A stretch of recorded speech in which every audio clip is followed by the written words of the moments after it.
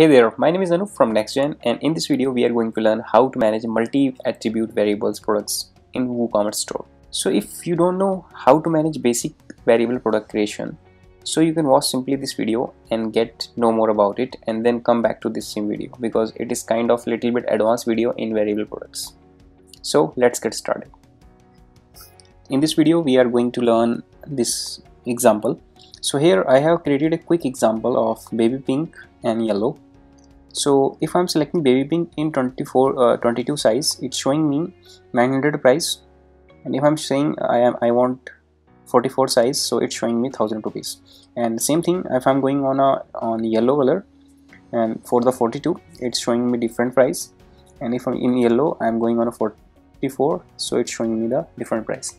So at the end of this video you will be able to create the complex product like this which comes under variable products so first of all uh, let's create a new product. You have to go on the add new.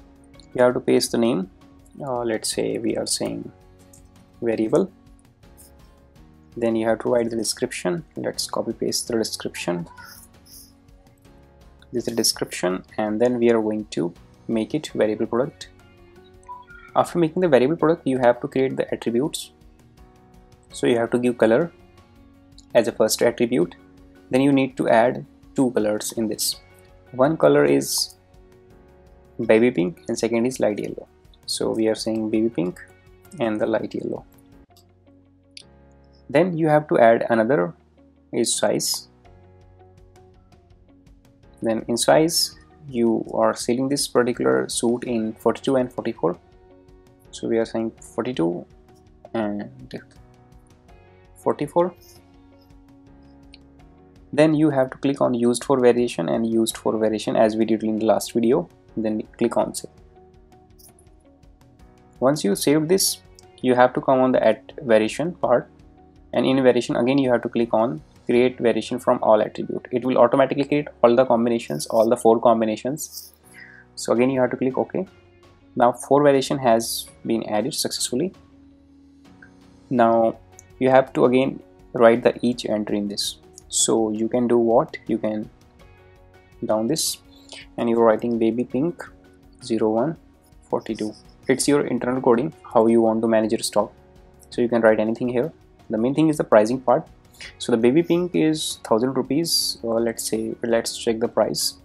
So baby pink in 42 size is 1100 and the sale price is 900 so baby pink in 42 size is 1100 and the sale price is 900 then you have to click on manage stock if you want to manage the stock. And I have 45 pieces of this.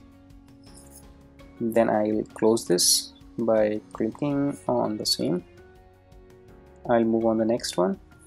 This is the 44 of the same baby pink. So I'm just writing the SKU again in a logical manner so I'll paste this and I'll replace the size 44 the regular price is in the baby pink. If I'm going with the 44 is 1200 and 1000 so it's 1200 and 1000 then you click on the manage stock and we have around 25 pieces of this particular piece. Then you have to minimize this by clicking on the same drop down. Then you have to go on the light yellow you will paste this and you can write the color light yellow. And this is the 42 the regular price of the light yellow in the 42 is 1200 and 950 so it's 1200 and sale price is 950 then in using manage stock you can manage the stock.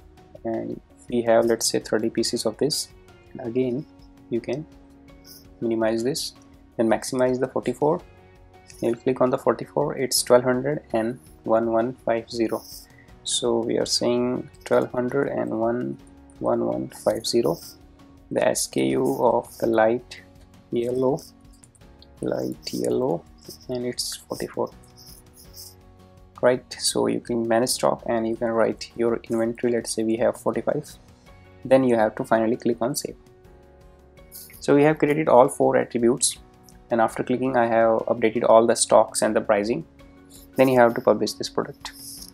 After publishing this product you can preview. And after doing preview you can see I'm getting the price range because it's a variable product.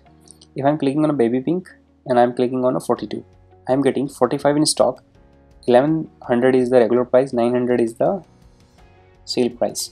If I'll match this price for baby pink with 42 so I'll go in the variations and I'll go in baby pink and 42 so you're getting 11,000 as a regular price 900 as a sale price and 45 is the stock. So this is how you can create a variable product. And these images and the slider you can update as I told you in the simple product video.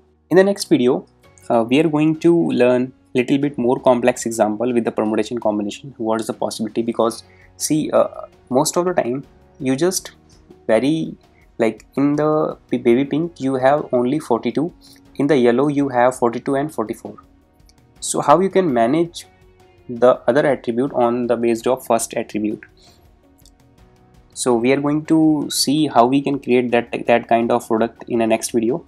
So see you in the next video. Bye bye